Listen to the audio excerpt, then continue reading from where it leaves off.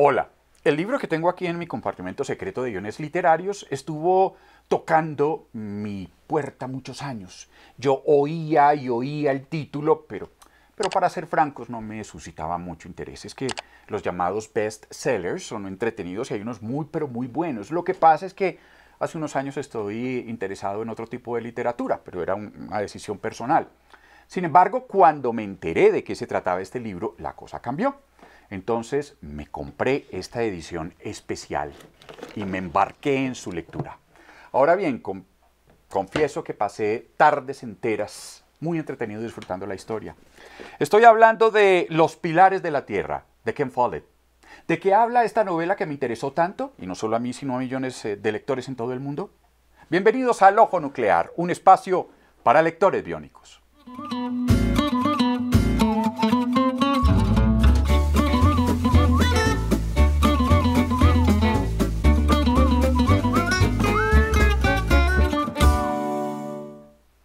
Los Pilares de la Tierra centra toda su historia en algo que a mí personalmente me apasiona sobremanera, las catedrales góticas.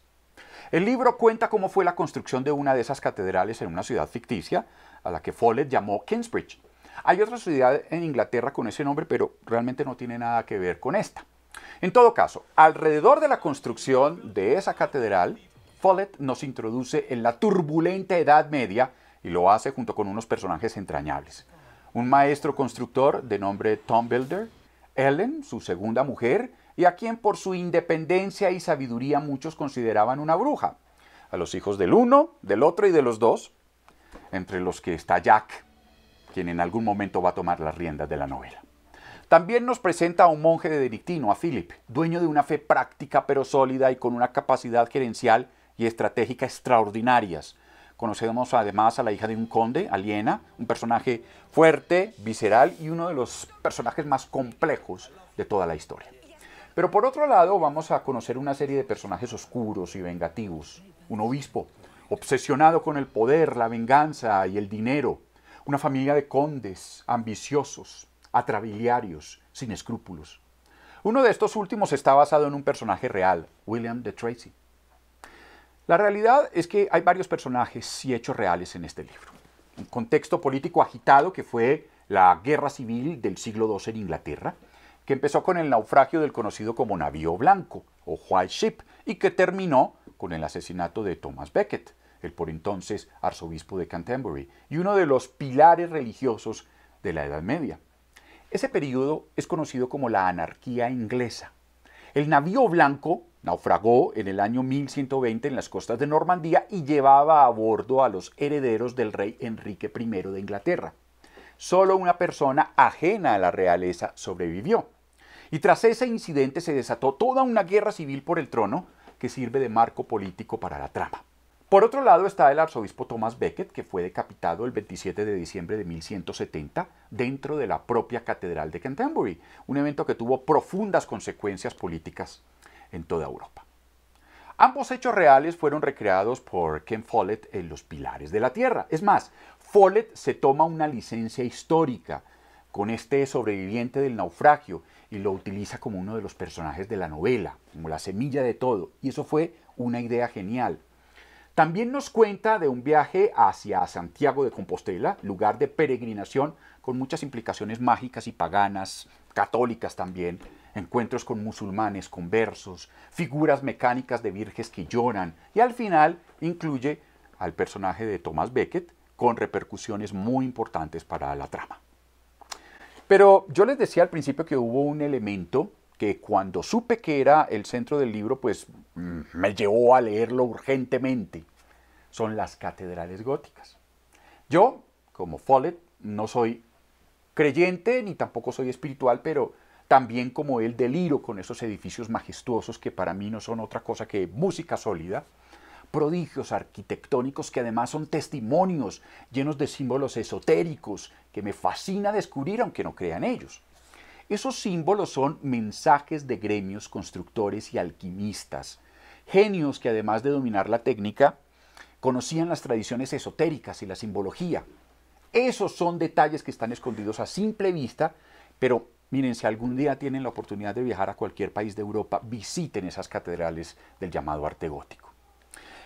Arte gótico es una palabra que para algunos, como el escritor esotérico Fulcanelli, tiene una etimología muy bella. Arte gótico provendría de art got y de ahí argot, que es el lenguaje de los individuos que tienen interés en comunicar sus pensamientos sin que les entiendan los no iniciados.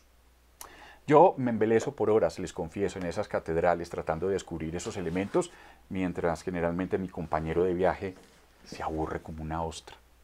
¿Por qué? Se pregunta Ken Follett en la introducción de esta edición ilustrada que tengo. ¿Por qué se construyeron estas catedrales? ¿Por qué toda una ciudad se embarca en una empresa de estas que implica tantos años, dinero, sufrimiento, mientras los mismos ciudadanos medios se alimentaban y ni siquiera los príncipes eh, o los obispos vivían con tanto lujo como el que les prodigaban a estos edificios? ¿Había algo más que piedad o alabanza a Dios? Pues sí, las catedrales eran sitios de adoración, pero también eran santuarios de ciencia y de arte. Eran la solidificación de la tradición y de la fe popular. Por lo demás, tal y como lo recrea muy bien Ken Follett, las catedrales eran el motor político y económico para las ciudades. Podríamos decir que eran el centro de las dinámicas sociales en la Edad Media. Allí se coronaban reyes, como hoy todavía se hace. Se hacían alianzas eh, políticas, se pedía el aval para las guerras, eran sitios para celebrar las asambleas populares, refugios, espacios para discutir el precio del, del grano, del ganado, de los paños. Los gremios o las corporaciones, como se llamaban, eran las encargadas de la construcción de estas catedrales y estaban dirigidos por un maestro constructor como Tom Builder o como otros personajes de la novela, ya lo verán. Por eso yo amo las catedrales góticas, porque todo está escrito en ellas. En realidad, hay que decirlo, el libro se centra más en los secretos arquitectónicos, no en los mágicos o esotéricos que esconden las edificaciones góticas. Yo eché en falta eso. Quizás esto se debe a la mentalidad práctica de Ken Follett. Y en todo caso, lo que sí es cierto es que con este libro yo pude saborear la manera como los constructores lograban crear esa luz espectral y esa policromía de las altas vidrieras, tan propias de la mística, a la vez que podían ofrecer edificios con una estructura más propicia para la pompa o las sensaciones terrenales.